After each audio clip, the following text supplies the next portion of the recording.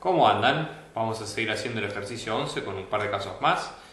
En este caso vamos a hacer el caso siguiente donde vamos a tener la integral de coseno de u sobre seno cuadrado de u diferencial u, donde los extremos de integración van a estar en pi sobre 4 y pi sobre 2. Entonces, ojo con esto porque u es lo mismo, no, quiere decir que hayamos hecho una sustitución ni nada por el estilo, sino que simplemente es la variable. Entonces vamos a ver cómo lo resolvemos. Primera cuestión, nosotros tenemos acá, vamos a identificar dos partes que es el seno y el coseno. Como ustedes saben, si yo por ejemplo tomo seno como una sustitución posible, su derivada va a ser coseno.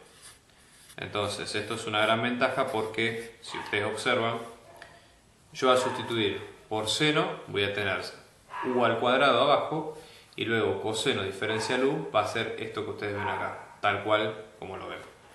Entonces, esta integral nos va a quedar entre pi sobre 4 y pi sobre 2 coseno de u diferencial u, que es el diferencial de a, como ustedes lo ven acá, dividido seno de u, acá es seno de u cuadrado, o sea que nos queda a al cuadrado. Esto, otra forma de verlo, es que a al cuadrado, eh, digamos, 1 sobre al cuadrado nos puede quedar como a a la menos 2. Entonces, cuando aplicamos la regla, nos va a quedar 1 sobre 1 más menos 2 por a a la menos 2 más 1. Todo esto ahora sí evaluado entre pi sobre 2 y pi sobre 4. Entonces vamos a tener 1 más 1 más menos 2 es menos 1, 1 sobre menos 1 es menos 1, a a la 2, menos 2 más 1 es a la menos 1, o sea vamos a tener 1 sobre a y ahora sí evaluado entre pi sobre 2 y pi sobre 4. Entonces vamos a tener menos 1 por 1 sobre a, que es 1 sobre pi sobre 2, que nos va a quedar 2 sobre pi, porque damos vuelta a la ecuación, menos 1 sobre pi sobre 4, que nos va a quedar 4 sobre pi.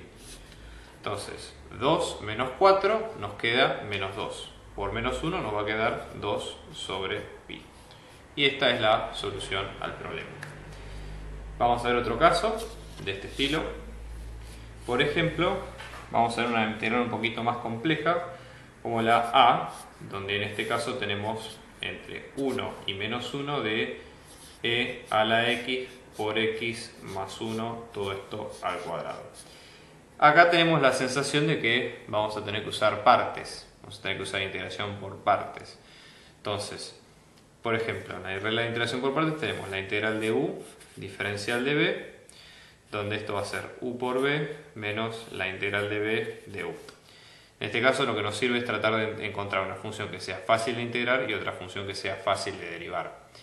De las dos, o sea, nosotros tenemos e a la x y x más 1 al cuadrado, la que es fácil tanto de integrar como de derivar es e a la x, o sea, ahí no tenemos problema. Entonces una de las cosas que se podrían hacer acá es tomar, por ejemplo, diferencial de b, como que es e a la x por diferencial de x, fíjense, cambio el orden de, multiplicación y tengo las dos. Y después, cuando yo lo integro, obviamente la integral de e a la x me queda lo mismo e a la x. Y luego si elijo u, como que va a ser todo x al cuadrado, x más 1 al cuadrado, el diferencial, a borrar la cadena, me queda 2 por x más 1 a la 1, ¿sí? diferencial de x, que es lo que vamos a ver después acá. No vamos a tener problema. Entonces, en este caso, observe, vamos a tener.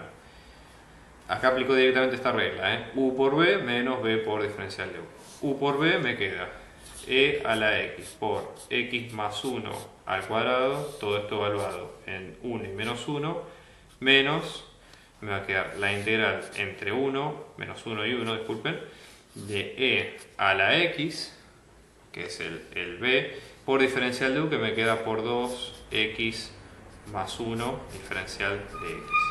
Entonces, ¿qué es lo que hacemos acá? Se puede hacer distributiva entre todos. Vamos a tener, esto lo dejo tal cual, ¿sí? e a la x por x más 1 al cuadrado, evaluado entre 1 y menos 1. Este 2 lo puedo sacar como factor común, o sea, menos 2 por, y acá vamos a tener, hago e a la x por x, o sea, me va a quedar, vamos a hacer la separación acá, entre menos 1 y 1 de e a la x por x, diferencial de x, ¿sí?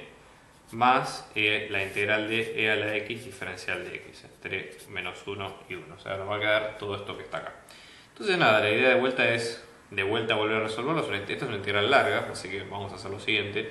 Yo voy a dejar esta hoja en standby y vamos a ir resolviendo, vamos a resolver primero esta parte, a la cual vamos a llamar A, y luego esta otra parte que vamos a llamar B. Y luego seguimos haciendo los pasos. Entonces, vamos a ver acá. Esto, nos, esto vamos a tener como vamos a hacer la parte A, donde nos decía hacer la integral entre menos 1 y 1 de a la x por x diferencial de x. De vuelta acá tenemos lo mismo, ¿sí? hay que volver a aplicar regla de la cadena, donde tenemos u diferencial de b, u por b menos b de u.